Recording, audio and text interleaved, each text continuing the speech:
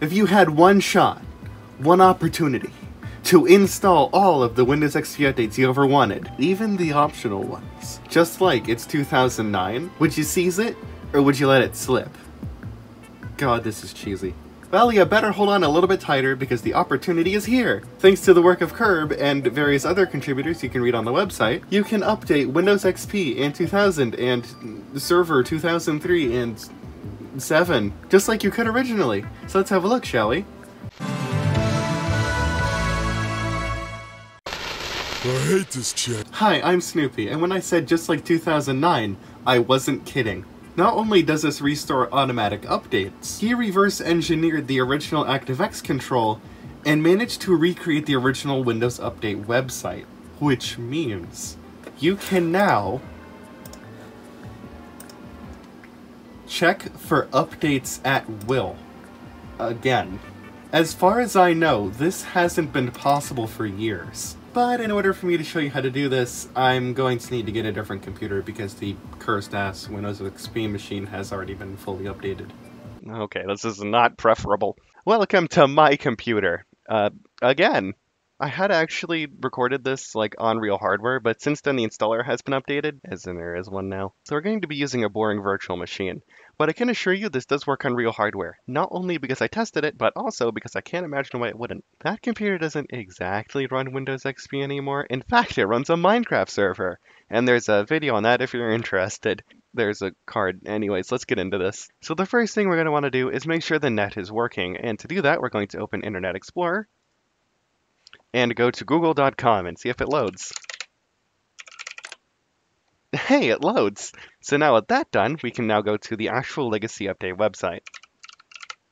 LegacyUpdate.net. And now we're going to scroll down a little bit, and then as we can see, there is a button that says install, and we're going to click on that. Now, if you're using Windows 7, there are some more steps which you need to do, um, but they're on the website.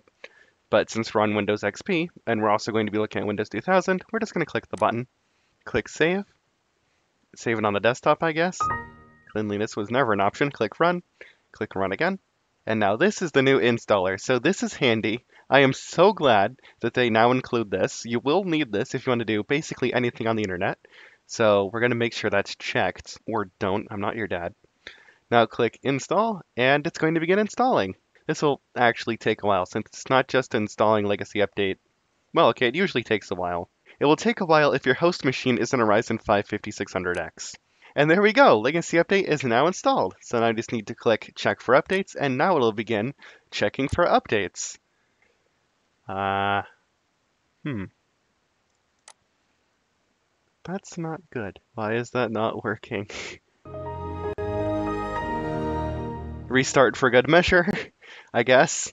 And now this will take a really long time, especially if it's a new install, so um, best give it some time. I don't know if this is a legacy update issue or if it's a uh, updating Windows XP issue, but you know, Windows Update has always been slow.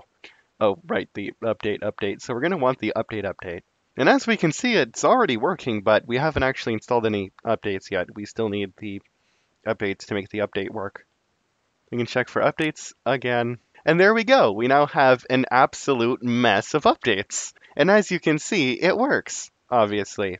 And it will work on any version of Windows XP from RTM to Service Pack 3.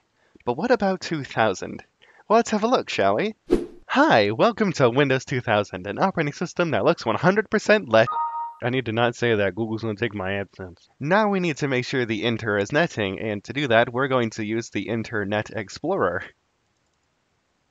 That's too big. Hey, it works. Now we need to install Legacy Update, and to do that, we need to go to legacyupdate.net.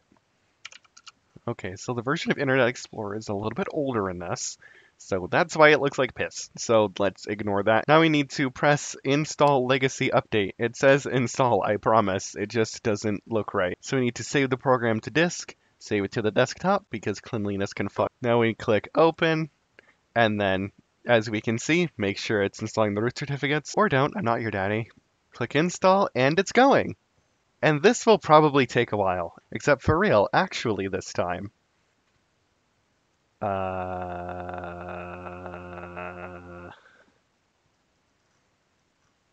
VMware kind of does this. Um, you need to force restart it. It doesn't do this on real hardware. Uh, wait, no, no. It's supposed to do that. Hey, there we go. It's gotta give it a moment. Okay, there we go. That's finished. And now we can check for updates. And this will probably take a while.